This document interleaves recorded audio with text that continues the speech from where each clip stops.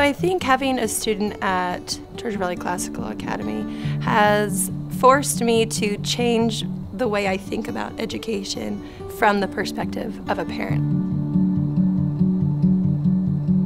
Every parent wants their child to do well in terms of academics, but being a parent here has forced me to really, truly decide what success looks like for our children and what we want their education to look like.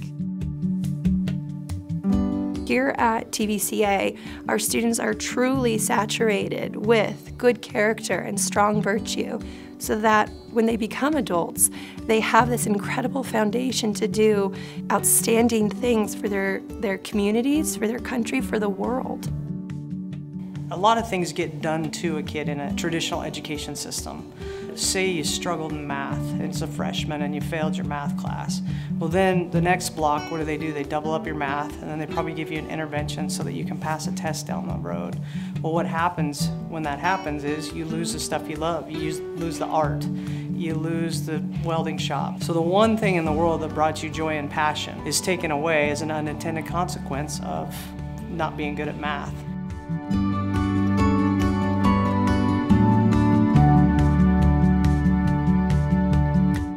Was like struggling a lot in school. Like I never went. I just didn't feel like there. Like that wasn't the place for me. Um, I would just miss. I wouldn't like do my assignments or anything. And so I feel like just being here at Elevate like changed my perspective and learning.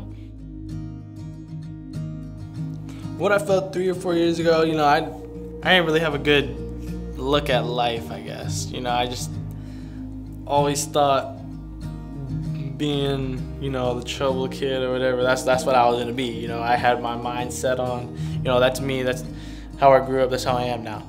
But ever since I came here, my whole mind changed and everything, and I have a better vision of what I want for myself, what I can do to better myself for the future.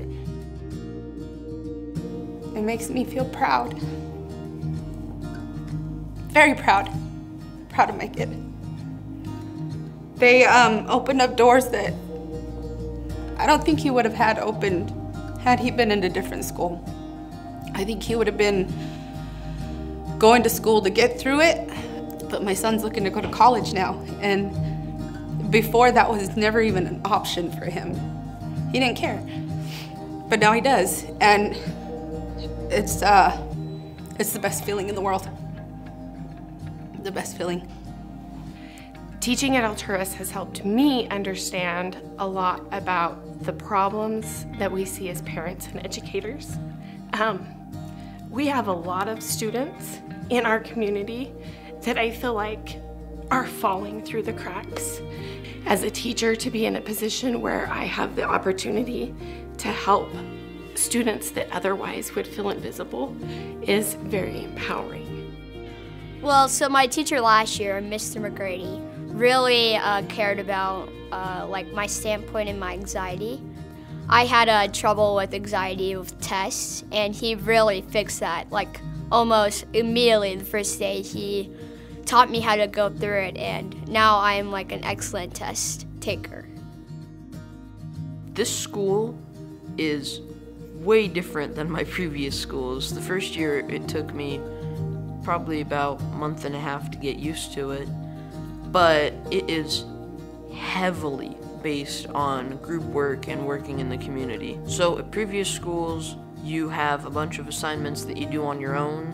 You usually don't talk with other people as much.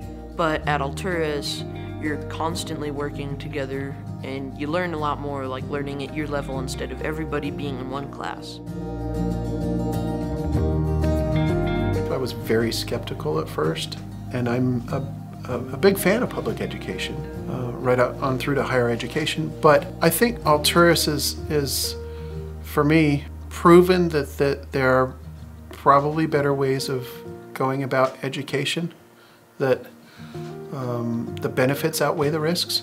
That's really when I started to change my mind was noticing that my kids were a little happier when, when, I, when I picked them up from school.